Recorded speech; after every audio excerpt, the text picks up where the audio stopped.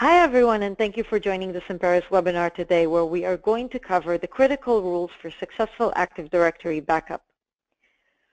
We are delighted to have our resident expert on the line, Guy Teverovsky. Guy has nearly 20 years of experience in the identity and access management field. He is currently leading the technical solution strategy and engineering units at Semperis. Prior to Semperis, Guy was a senior premier field engineer at Microsoft acting as a mentor for Active Directory and IAM solutions. Guy was recognized by Microsoft as Directory Services MVP for his expertise and contribution to the technical community. On the line, we also have Mickey Bresman. Mickey is the CEO and co-founder of Semperis. Mickey has nearly two decades of expertise in enterprise software, stretching back from his management roles in the Navy Computing Technical Unit to his days as a CTO of a Microsoft Gold Partner integration company. Just a little bit of housekeeping before we get started. This session is being recorded, so if you find that you want to review parts of it later or share any of it with your colleagues, we will be in touch in a few days with the presentation link.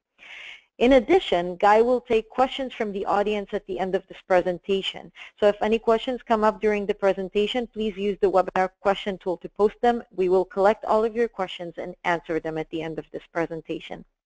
With that, I will transfer it to Mickey to the start of the presentation. Thank you, Maytal. Hi, everyone, and thank you for joining. My name is Mickey, and I am the CEO of Semperis. Semperis is an enterprise identity protection suite that helps recover your enterprise from cyber breaches and identity system failures on premises and on cloud. Our technology provides a fully automated forest recovery solution simplifying the disaster recovery of your AD forest to three steps allowing you to meet organizational time objectives. And as for the day-to-day -day activities, Semperis State Manager performs continuous real-time tracking with granular search, compare and restore of objects and attributes. And with that, I'm going to transfer it to Guy. Thank you, Mickey. So what makes AD so special when it comes to backup and recovery? Let's start with the obvious. The information stored in Active Directory does not always reside in a single place on the same domain controller. The most common examples for that are multiple domains in the forest, meaning that the domain controller from domain X does not have all the information about objects in domain Y, even if it is a global catalog. Another challenge are the application partitions with a custom replication scope. Only a subset of domain controllers on, in that case will host the the application partition in question. Active Directory integrated applications hosted on domain controllers present additional challenge. Examples are enterprise certificate authorities and uh, DNS services combined with Active Directory integrated DNS zones. And in addition, some settings are local to the domain controller. For example, non-AD integrated DNS forwarders or primary DNS zones, non-AD integrated again. Another point to be taken into consideration is the fact that domain controllers cannot be restored using snapshots and disk images. Doing so will result in USN rollback on Windows 2008 R2 and below domain controllers, and on Windows 2012 higher non-virtualized domain controllers. Once USN rollback is detected, the domain controller will just refuse to replicate.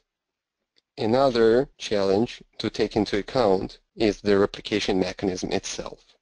Restoring the domain controller from backup while there are other domain controllers available from the pre-restored domain or forest and hosting the corrupt offending copy of the ID will result in a restored domain controller picking up the latest changes from the other domain controllers.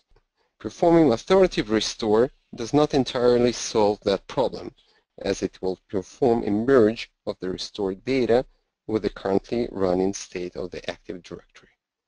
For example, if a user has been added to a group after a, the backup that was used to restore the group, the authoritative restore will not remove the user from the group. In addition, new attributes of objects that are specified in the authoritative restore are preserved during the replication.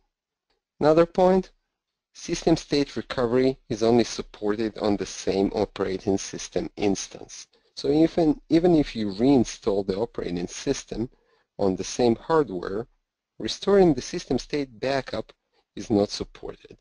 Same applies to a different hardware scenario. This makes restoring domain controllers from backup quite challenging. Now, let's look at some crucial guidelines for a successful Active Directory forest backup. So let's start with the selection of domain controllers that you want to backup. The recommendation in Active Directory Backup and Recovery Step-by-Step -step Guide from Microsoft includes performing at least two trusted backups for each domain. In reality, the number and the selection of domain controllers you will want to backup is greatly influenced by your recovery plan and your SLAs. Well, there's the obvious one. If you want a domain controller available early during the forest recovery phase, you need to back it up because majority of line of business applications rely on Active Directory for authentication and authorization, the SLA of AD will be derived from the SLAs of those critical applications. In order to satisfy those SLAs of those critical applications, you need to be able to restore AD functionality for those applications as soon as possible. Hence, the number and location, whether it's a data center or a network segment of the DCs you will back up, should be able to provide AD functionality both of those line of business applications and for the promotion of the rest of the domain controllers during the forest recovery phase. Remember those domain controls that are being repromoted uh, as the last step of the forest recovery? So they will be sourcing information from those restored domain controls, domain controls that have been restored from backups, and they should have enough power to deal with all those domain controllers that are currently being re-promoted and are, that are sourcing the information, replicating data from those domain controllers. So you have decided what domain controllers to take backup of. Next important point is deciding for how long to keep those backups storing the backups for tombstone lifetime period is fine. However, will your business be able to actually recover from the crisis? Not the actual AD crisis, but the business side of the organization if you roll the whole AD 180 days back in time. In some companies, going back more than four weeks means a bankruptcy. For others, going back a year is a valid option. So how many times have you found yourself in a situation where you rebooted the main controller into directory services recovery mode just to find out that the DSRM password is not what you are expecting it to be? Right. So syncing the directory services recovery mode password from AD account using some scripting as a, a scheduled task is one of the options to solve that issue. Just make sure that the password of the account you are syncing from is documented and properly protected in an offline manner, something that will, should, will be available during the forest recovery phase, meaning that it does not rely on AD for its storage. These days, Active Directory has become one of the primary attack tar targets. On more than one occasion, hackers took over the Active Directory and held it as a hostage, demanding ransom. If you want to have a set of backups that cannot be tampered by hostile parties, encrypt your backups, make offsite copies, and make sure the encryption keys are backed up to an offsite location. Now, let's look at the selection of domain controllers for restore. The larger and more complicated the environment, the higher the chances that the backups of the domain controllers are not performed at the same time due to things like maintenance windows and time zones. This is important as during the recovery, we will be restoring domain controllers from different points in time. Now, the larger the delta between the earliest and the latest backup, the higher the chances that some of the restored domain controllers have changed their computer account passwords during that time window, situation that in some cases can result broken AD replication between the restored domain controllers. Ideally, you should try to not exceed a delta of 12 to 24 hours between any two backups of the main controllers involved in the forest recovery. Otherwise, you might end up with the main controllers having different state of computer account passwords and having different view of configuration partition that contains information like Active Directory sites, subnets, domain controllers, site link configuration, and settings related to the replication of your AD forest. A word about physical versus virtual. Physical domain controllers obviously take longer to back up and restore.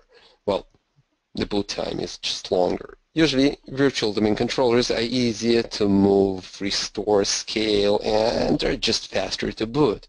But there is an important thing to remember here. If access and operation of your virtualization infrastructure relies on Active Directory, you might be in trouble if no backups of physical domain controllers are available. And another thing you need to ask yourself is, are those VMware ESX root passwords available? Are there virtualization and storage engineers there during the recovery and will they be able to assist if their involvement is required? Even if you are running AD integrated DNS and all your domain controllers are also DNS servers, not all of them are created equal. You do want to start with DNS servers that the line of business application servers are using for name resolution. And while on the topic of name resolution, some additional questions you should be asking yourself before restoring your Active Directory forest. Are the selected domain controllers serving all the DNS zones required for the operation of the forest. Actually, are all DNS zones from the Active Directory forest namespace included in those DNS servers that currently have been restored? Will the restored DNS servers be pointing to live and operational DNS servers for forwarding? Will the restored DNS servers be pointing to valid DNS servers for conditional forwarding? And what about zone delegations are they currently pointing to operational domain controllers that are running DNS services? And what about those stub zones that you have created for optimizing the name resolution? All those settings might need to be revisited and updated during the time of the actual recovery. And last but not less important, the actual DNS servers configured in the TCP IP settings of your domain controllers. So at what DNS servers are your restored domain controllers pointing to? A couple words on the replication uh, topology. Some things that you want to remember about KCC. If you disable bridge all site links, you will need to make sure that you have direct site links configured between the Active Directory sites involved in the recovery. If you don't have those and all site links is disabled, you will be having replication issues. Now, KCC is smart. It can overcome presence of metadata of stale and non-present domain controllers, but it might take it some time. If you are restoring multiple domain controllers, make sure to perform metadata cleanup on all of the restored domain controllers. Do not rely on the replication to converge the metadata cleanup. Performing that metadata cleanup on all of the domain controllers that you are restoring from the backups.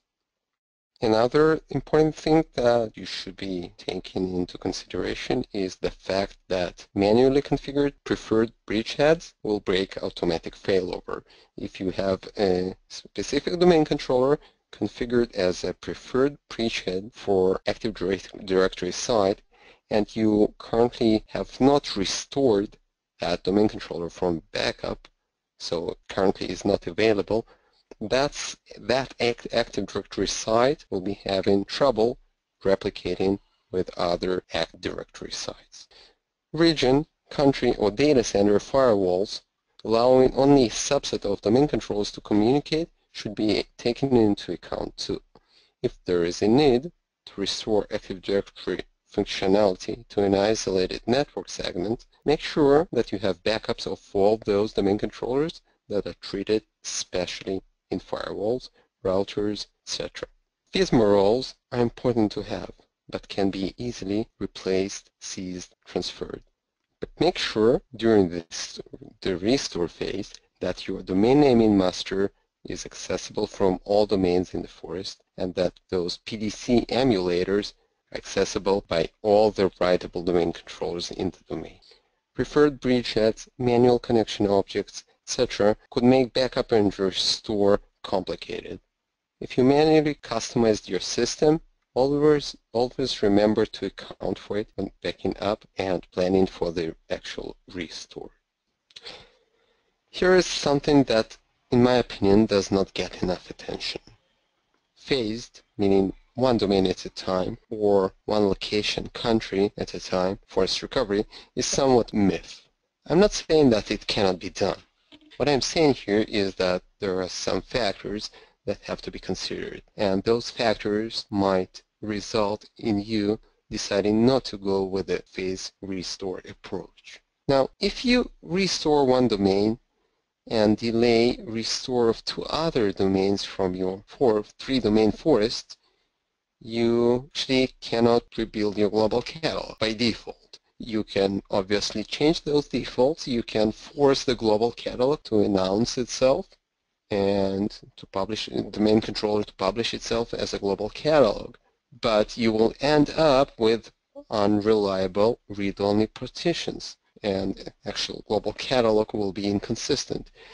And you will introduce some serious attack vectors the ACLs on resources that are protected using universal groups for deny will fail and unauthorized users will be able to gain access to sensitive data. Resources using universal groups to grant access will not be available to. Now, if you try to roll out the restored forest gradually by propagating the restored domain controllers per network segment or per country or region, you are taking a risk of data leak between those broken and restored forests. Now, you could incidentally inject data from the broken forest into your actual restored forest. And you're also risking your environment by presenting a situation where users and applications attempting to use the incorrect forest or experiencing might experience inconsistencies during the switchover. The end result is a large volume of support calls and support staff trying to fight the side effects of phased forest recovery.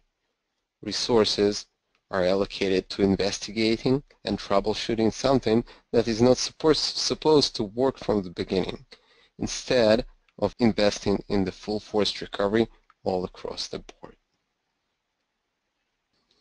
Now let's recap what we discussed and go over the things you would really want to include in your forest backups. Obviously, the backups of the main controllers themselves, system state backups or BMR backups. You would also want to document your forest topology, sites, site links, replication-related customizations, FSMO roles, etc. Anything related to IP settings, disk layout, hardware specs of the main controllers should also be included in your backup plan. And DNS server configuration, and actually anything related to the DNS name resolution should be also included in your backup plan. Obviously, those built-in administrator RID 500 account passwords and DSRM passwords, you want them available during the recovery phase. And anything special, any customization of domain controller that might influence the recovery should also be documented and be part of your recovery plan. And now we will be taking questions from the audience. Okay, thank you so much, Guy, for this great presentation, and thank you uh, to everyone who submitted uh, amazing questions throughout the session. Uh, with that, I'm going to start asking Guy today's questions from the session. Uh, and the first question that came in during the presentation was, um, what are the backout options if a forest recovery goes bad? That's an interesting question. So you need to plan for that uh, when you actually start your forest recovery. At that point, you would probably want to take at least one domain controller from each domain and isolate those domain controllers. You will need to turn them off either physically or just disconnect from the network on which you will be performing the actual forest recovery and you need to store them. Uh, if something goes wrong with your forest recovery, you will need to physically turn off, or if those are virtualized domain controllers, you will need to turn off the domain controllers that were participating in the forest recovery, and you will need to recreate this mini forest based on those domain controllers that you saved before you started the actual forest recovery process. It's actually very similar to performing a forest recovery with one exception that you, at that point, you should have a fully functioning mini forest and all you need to do at that point is just re-promote more domain controllers based on that mini forest that is that you have brought back from, from the isolated network. Thank you. Uh, another question that came up is what are the ways to optimize or speed up the recovery time uh, once you have a disaster and you want to recover from a backup? Well, it, there are a lot of factors that, that can influence the, the speed of your recovery. I'll start with, with the obvious. Let, let's look at the size of your backups. Uh, the, size of your backups matter because when you start your recovery, well, obviously, if you need to re restore more data, that matters. So at that point, you would want to review and revisit the contents of your sysvol, for example. If there is a lot of stale data there, uh, reducing the size of sysvol will reduce the size of your backups and obviously will improve the speed of your domain controller rec recovery. Uh, the number of deleted objects and tombstone lifetime period is also important in a large environment. If you have a lot of deleted objects when you will be rebuilding global catalogs, when in the case of multiple domains in the forest, when you're rebuilding global catalogs, having a lot of deleted objects could uh, slow things down. Also, you would want to make sure that you have all those DNS server patches that address the excessive growth of your AD database because of multiplication uh, of DNS tombstones. Eh, if you have a lot of them, again, that could slow things up. And if you if you have custom attributes that contain large data sets or binary objects like pictures are a great example, either make sure that you have certain control over those attributes that they don't exceed, for example, this certain size, or just think twice before deciding to replicate them to global catalog because again, when you will be rebuilding your global catalogs uh, during the forest recovery, that will that will have impact on their time of global catalog recreation. What else can be done?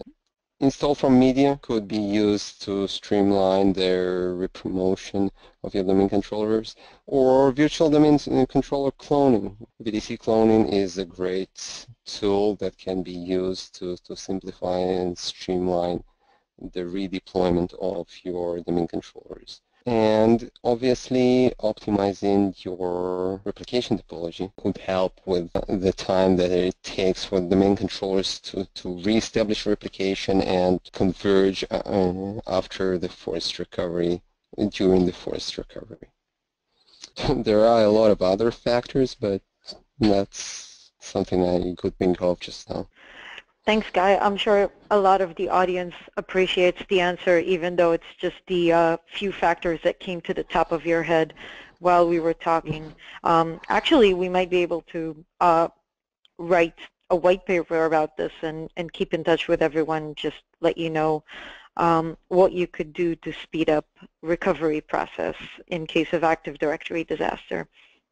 Um, and I think we have the last question that came in from the audience during this presentation. And the question is, um, what are the additional steps after Active Directory Forest Recovery to get things up and running in your organization?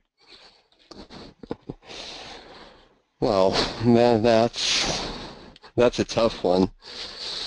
There are the obvious answers like if you roll back your AD, uh, there is a good chance that some of the domain joined computers and servers will lose secure channel with your AD. You will need to rejoin those computers to, to AD. There will be a, a, volume of support calls of users, all those users that changed their password during the time. So if you roll back your AD 40 hours back, and you have users that have changed that password during those last 48 hours, basically you have rolled their accounts back to the state where they had their previous account set. So they will be calling the support, they will be calling the help desk requesting a password resets.